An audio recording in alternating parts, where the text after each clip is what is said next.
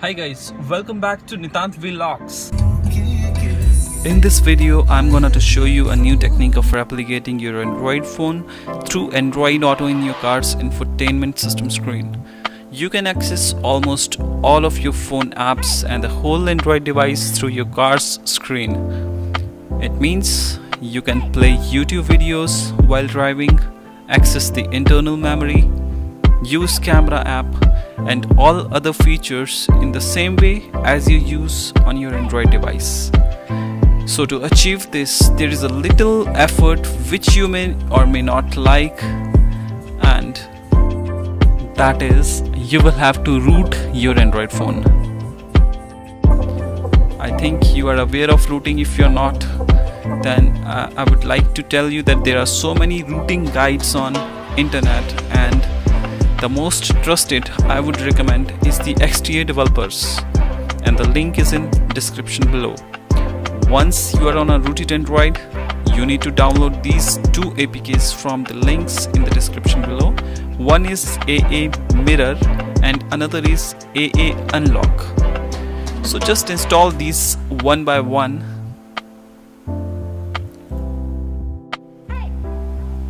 So I'm installing AA Mirror first and then the AA Unlock like this. Now you need to open the AA Unlock and press the unlock button. When you will press the unlock button, it will ask for the root access.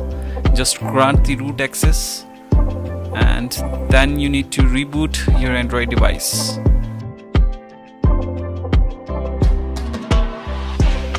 And now the Android device is rebooting.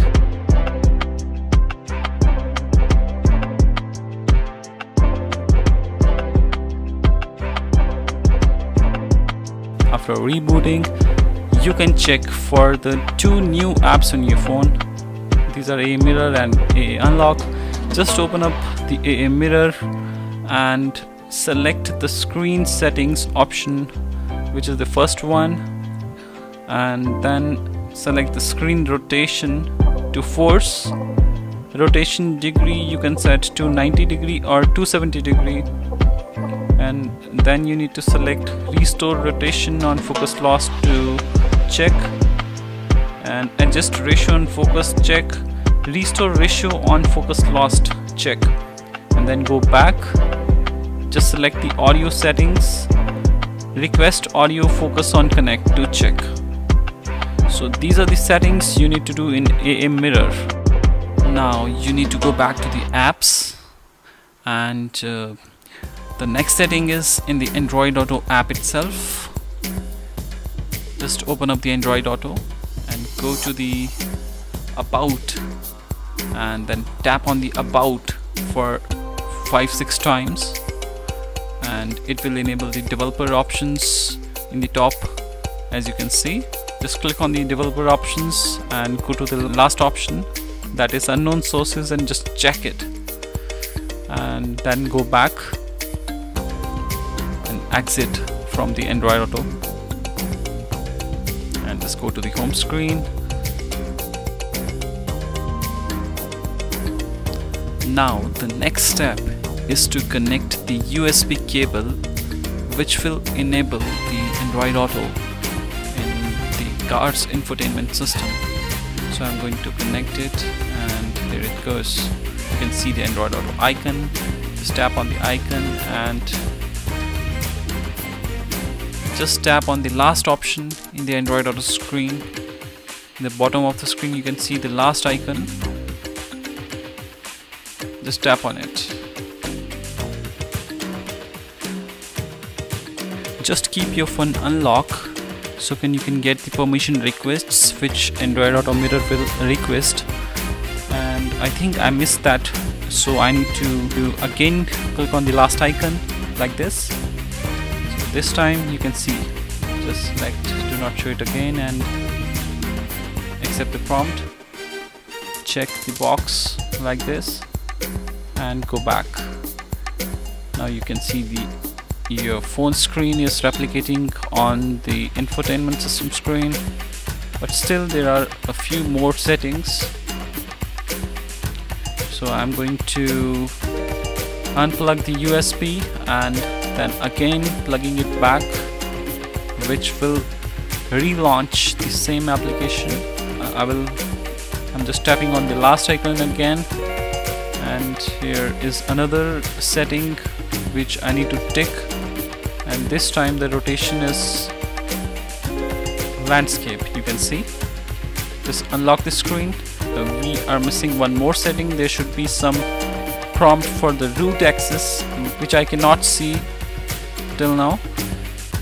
Because Android Auto Mirror will uh, also request for the root. So I'm checking it um, by going to the Magisk if you have super user application you can go to that and check for the um, root access requests. So here I can see that Android Auto Mirror, Mirror has uh, requested for the root. So I'm granting the access by checking it like this. Now go back and again unplug the USB plug it back. It will relaunch the app can see. As it will relaunch the app again go to the last icon. And this time everything will work flawlessly. You can use the touch screen of your infotainment system. And you can see your phone screen on your infotainment screen. And this time it will work 100% fine all your apps will be here. If you again click on the last icon it will show two applications. One is Android Auto Mirror and second one is Return to the Maruti Suzuki or your car's uh, home screen. So I'm selecting the Android Auto Mirror and here you can see how it works.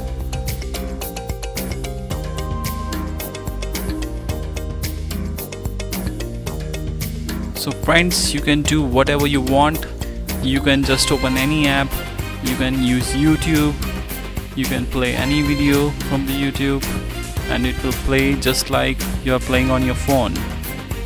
Friends, just for your safety, I would like to remind you that this feature is not recommended while driving. This is just a feature for the passengers if you don't have the secondary display in your car.